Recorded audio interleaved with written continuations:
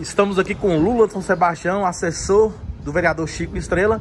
Lula, uma série de críticas aí contra membros do governo municipal. Por que essas críticas, Lula? Logo na independência do Brasil, logo no desfile de 7 de setembro. Antônio, o que eu disse com relação ao desfile de 7 de setembro é o seguinte, foram muitas, muitas bandeiras de políticos e o que eu não concordo é, é muita campanha e o povo sofrendo. Eu acho que o povo tem que pensar primeiro no povo para que o povo vá até eles. E, e, você chega no hospital, você não vê atendimento, você chega no, na, na, na, na, zona rural, todo mundo reclamando de água, disso e daquilo, reclamando de tudo, o povo reclamando nas ruas por falta da, da presença do poder público. E o que a gente vê é uma farra de bandeiras de políticos no, no desfile de 7 de setembro.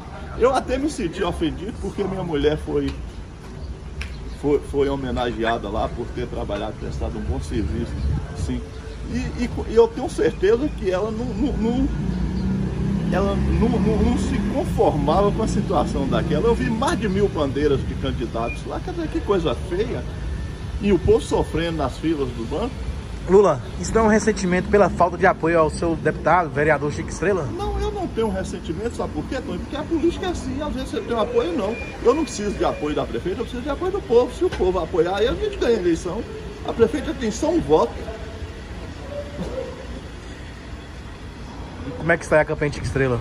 Campanha muito boa, muito boa.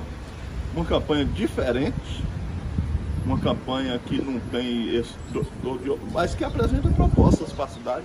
Se a cidade entender que tem que mudar e que a mudança é importante, ela vai votar com a gente. Se ela entender que tem que continuar na mesmíssima que está aí, ela vai continuar votando Você, Através desses vídeos, comentários seus aí em redes sociais, você não teme que o vereador possa ser prejudicado com, essas, com esses seus comentários, principalmente ataques aí ao governo atual, à gestão, até outros políticos de outras áreas?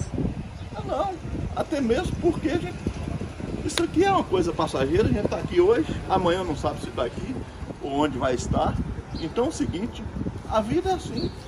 A vida continua, independente de prefeito apoiar, de governo apoiar, de quem quer que seja. A gente está aí para fazer a política. Agora a gente vai fazer uma política séria, uma política que apresenta proposta.